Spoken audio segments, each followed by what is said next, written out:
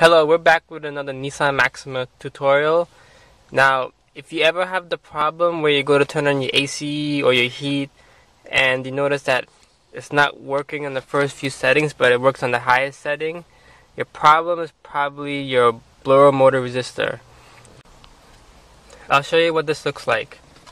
Here we go. Setting number one doesn't turn on. Setting number two, still no good. Setting number three, still nothing. Setting number four turns on. Now changing the blower motor resistor is fairly easy. It's located on the passenger side, right underneath near the glove box. There it is right here. That's the blower motor resistor. Now to remove the blower motor resistor, there's a clip you push on the harness and pull it out.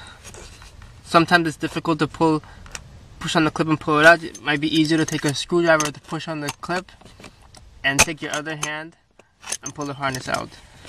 But I already loosened it up so it's easier to come out. As you can see, it's still difficult.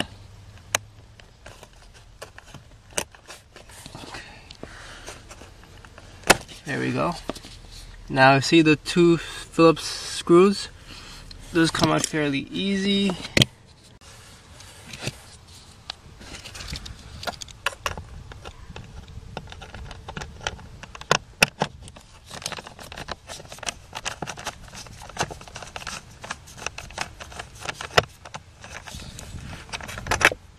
There's one.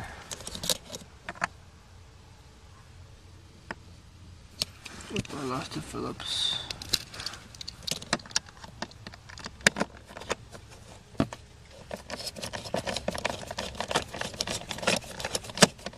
There's the other. And the resistor pulled right out. And that's pretty much it. Now, installing it is the same but in reverse. So just slide it back up in.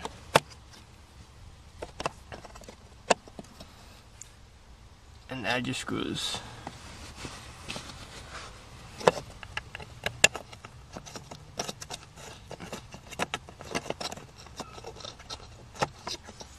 There's one.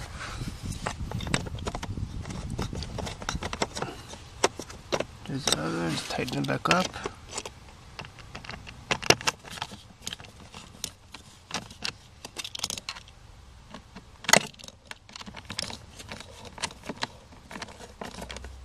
Sorry for all the movement. I'm doing this with one hand. Let's replace your harness. So it clicks. We feel it click. Now let's test it out. Setting number one. Could barely see it. There you go. It's kind of low. Two, three, full power.